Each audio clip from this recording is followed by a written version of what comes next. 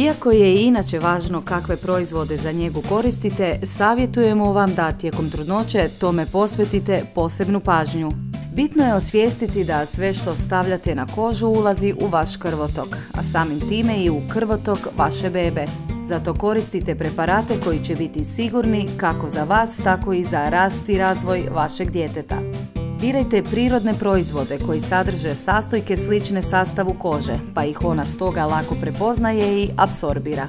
Savjetujemo vam da izbjegavate preparate u kojima se nalaze konzervansi jer oni mogu iritirati kožu i izazvati alergijsku reakciju.